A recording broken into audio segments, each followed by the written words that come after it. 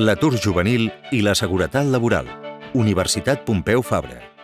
With the Recercaixa proposal, we are uh, studying the role of uh, the flexibility of labor markets on youth unemployment. What does that mean? Well, there's two types of security that people can have in the labor market. One is job security, which means that once you have a job, what is the likelihood that you will keep the job or that you will not lose it. And the other one is employment security, which means that if you do not have a job, what is the likelihood that you can obtain a job, that you can find a job. Clearly, these things uh, are somewhat opposed, and we find in the data there is a, a, a tension and a trade off. And the trade off is that if you have a lot of job security, there's little employment security, and vice versa.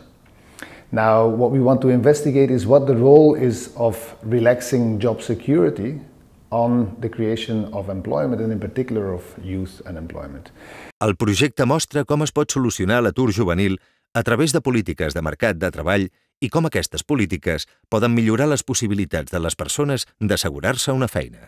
Our objective is therefore to try and quantify uh, uh, basically what the effect would be on uh, youth unemployment.